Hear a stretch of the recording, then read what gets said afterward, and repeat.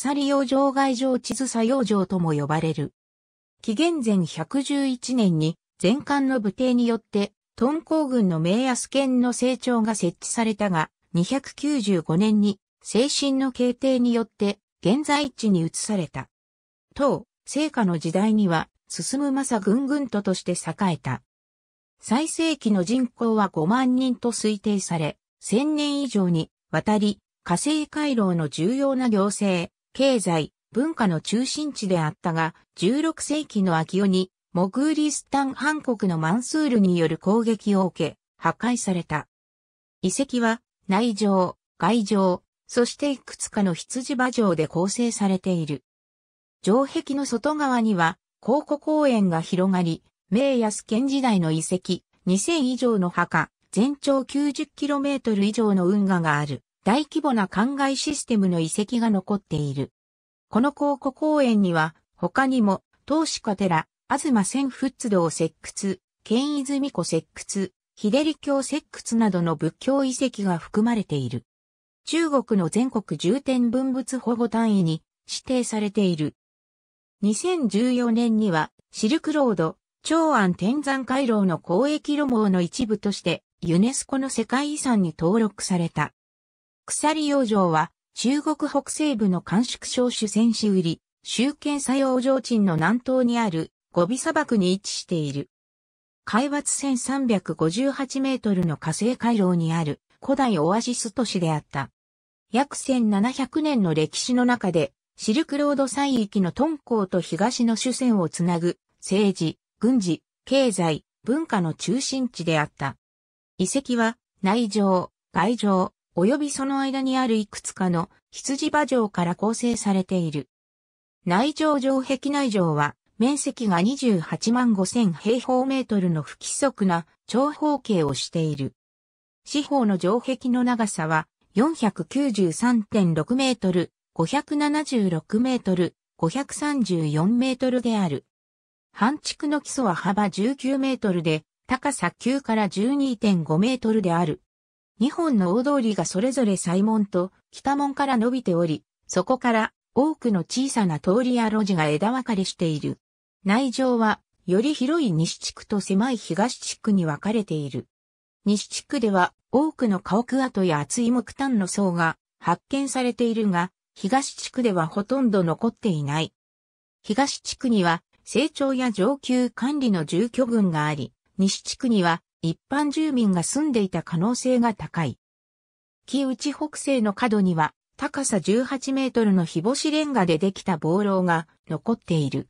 外城の南側外城も不規則な長方形をしている。その大きさは、東が530.5メートル、西が649.9メートル、北が1178.6メートルである。南側の壁は、東側が497.6メートル、西側が452.8メートルになっている。外壁の基礎は、幅が4から6メートルで、壁の高さは4から11メートルである。外城の北側は、内城の北側の内壁によって他の地区と分割されている。外城は東大に最盛期を迎えた鎖養生の最大領域と考えられている。南方の山岳からの洪水により、城壁の南側は破壊されて、二つの領域に分断されている。ほとんどの建物が破壊、または損傷しており、その残骸は外城で発見され、厚さ70センチメートルの洪水堆積物で覆われていた。外上の城壁は破壊後に再建、または修理されなかった。外城と内城の間には羊馬城と呼ばれる防災が存在する。東大の都市に共通する特徴として、平時には動物の囲いとして人と家畜の隔離に用いられ、戦時には軍事的な城触りとして利用された。隋代以降に修理や使用された形跡はない。首都遺跡の東 1km には古文書に記録されているアショーカ王の寺院と考えられている仏教寺院の遺跡がある。北州の仏教弾圧時、武帝によって廃され、当、聖火時期に再建された。当の構想現状が天竺巡礼に出発する1ヶ月前に説法した場所とされている。現存するほとんどの遺跡は、聖火のもので、首頭と11基の小塔が含まれる。多くの墳墓が、場外、主に南と南東にある。2100以上の古墳が発見されており、そのほとんどが、元代からの東大のものである。考古学者による発掘は行われていないが、特筆すべきは、1992年に、洞窟派によって暴かれた東大の大規模な墳墓である。東山祭や埴輪、絹、磁器、硬貨など多くの東大の工芸品が墓から発見された。シルクロード沿いにある最も副葬品の充実した墳墓の一つで、おそらくそれは売り収支しか裕福な商人のものであろう。大規模な灌漑用水路の遺跡が場外に残っており、ソロク川作用城は秋代により、区、よくと呼ばれた。この名称は1405年に明実録に初めて現れる。1472年、明の聖火帝は、モンゴルの脅威にさらされた、ハミの君臣らを、区翼に移住させた。1494年、工事帝は、当、聖火時代の城壁を改修した。20年後、マンスール藩の攻撃を受けて民は東方に退却し、過国関と草子はマンスールに占領された。しかし、モンゴル族、モグーリスタン族、その他の遊牧民族の絶え間ない戦いがこの都市に大きな損害を与え、最終的に都市は放棄された。鎖養生という名称は、唐の将軍の説人記をもとに書かれた寝台の通俗小説の説人記政党に由来する。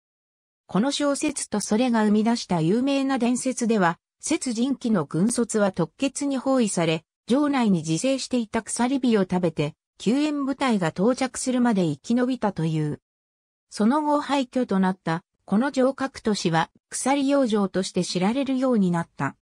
1996年、中国国務院は中華人民共和国全国重点文物保護単位として鎖養生を指定した。この遺跡は2010年に国家文物局によって国家高古石公園の候補地に指定された。2014年には、鎖養生は、シルクロード、長安天山回廊の交易路網の一部として、ユネスコの世界遺産に登録された。世界遺産登録の領域は15,788.6ヘクタールの広さを誇る。エービーフ、スワンペング、鎖養生、シュータ種遺跡ため一体的甘味、小石。ピープルズデイリー、2019年1月23日、閲覧。ABCDEFGH やを、主へ、鎖養生石及び母群。インスティチュート・オブ・アーキオロジー、チャイニーズ・アカデミー・オブ・ソーシャル・サイエンシズ、2019年1月23日、閲覧。ABCDEFGHIJKLLI、ホームグウェイリ・ヒロシー、シュジェイ・ジェンミング社の部秋。鎖養生石形成及び相関依存発端。ザシルクロード、一瞬1005から3115、http コロンスラッシュスラッシュ dh.dha.ac.cn スラッシュ。ジャーナルスラッシュ。アーティクル。ID イコール28026テーブルイコールダックスキーワードクジェフドメタダタ。ABCD ザサイトオブスオチョンシティイントロダクション。シルクローズワールドヘリテージサイト、2019年1月24日、閲覧。A4 ゴトンエンシェントシティ。チャイナラジオインターナショナル、2018年1月24日、閲覧。国務院関、右甲府第4非全国重点文物保護単位的、通知。ステートカウンシルオブチャイナ、2019年1月24日、閲覧。